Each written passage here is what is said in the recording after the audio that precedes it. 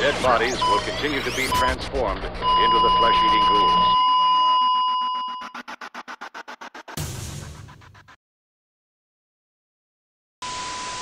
Hello, I'm Spooky Bill, and you're watching Pathophysiology of the Living Dead.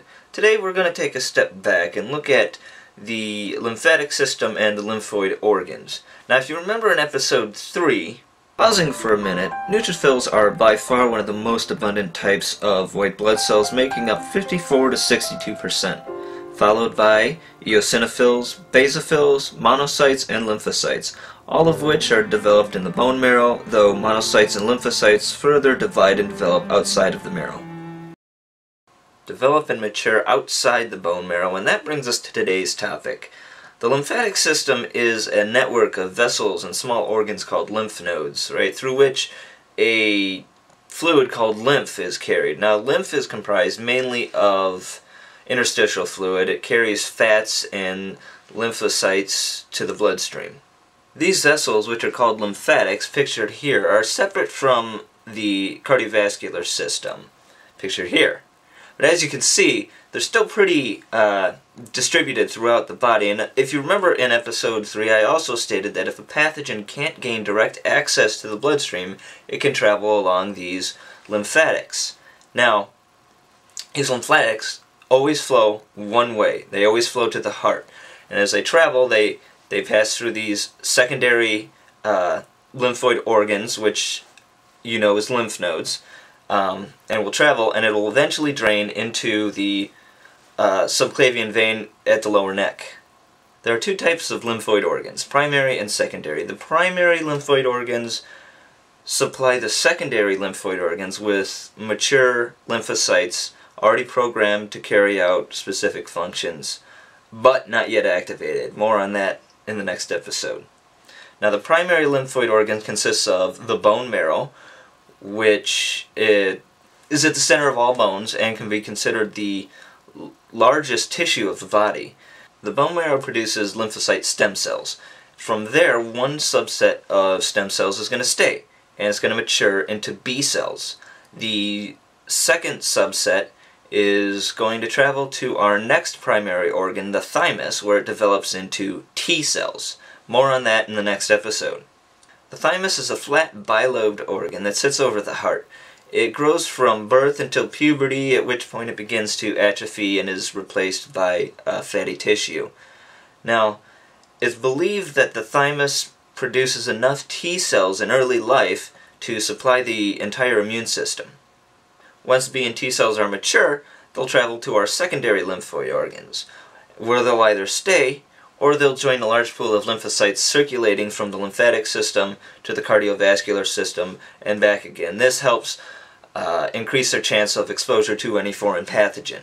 Which brings us to our lymph nodes. Scattered throughout the lymphatic system are these honeycomb-like filters.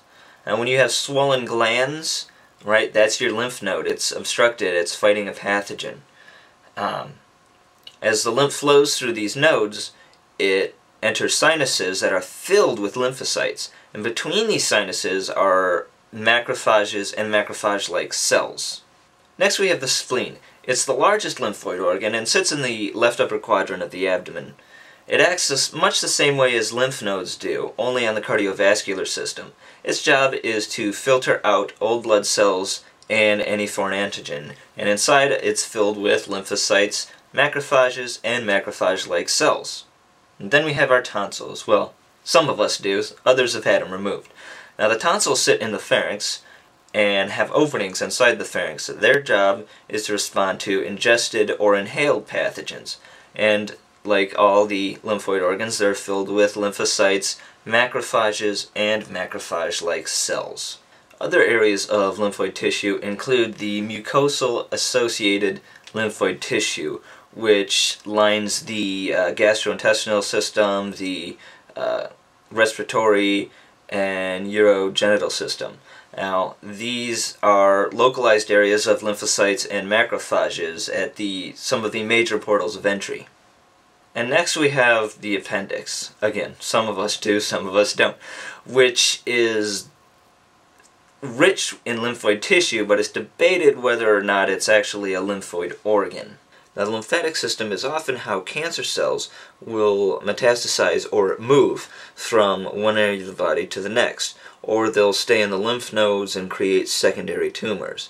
So it is entirely possible that the zombie causing pathogen could travel this way, but it's not the fastest way to travel, and it's actually they would have to contend with all those lymphocytes, the B cells, the T cells, the natural killer cells or NK cells, and how it can outsmart those are what we're going to talk about in the next episode.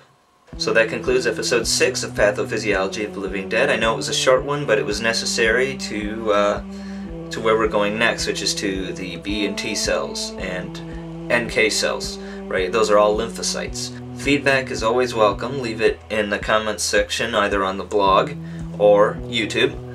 And as always, thank you for watching, and remember to stay spooky. Pinnacle.